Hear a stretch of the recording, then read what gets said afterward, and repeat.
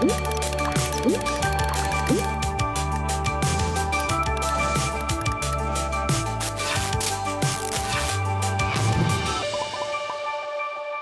Witam Państwa serdecznie i zapraszam na szczegóły prognozy pogody. Dziś zdecydowanie dominować będą opady deszczu, ale chwile ze słońcem również będą pojawiały się szczególnie w godzinach popołudniowych. Bez opadów deszczu dziś ziemia łódzka, Górny Śląsk, a także Pomorze Zachodnie oraz Podlasie. Na termometrach zanotujemy maksymalnie do 13 stopni, tyle w Małopolsce, na Dolnym Śląsku, a także na Lubelszczyźnie. Wiatr będzie miejscami porywisty, zawieje do nas z południa.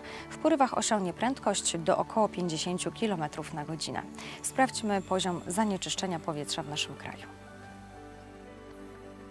W przeważającej części Polski jakość powietrza na poziomie dobrym, najczystsze powietrze natomiast przed mieszkańcami Podlasia, Lubelszczyzny, Podkarpacia Małopolski, a także ziemi lubuskiej i Pomorza Zachodniego.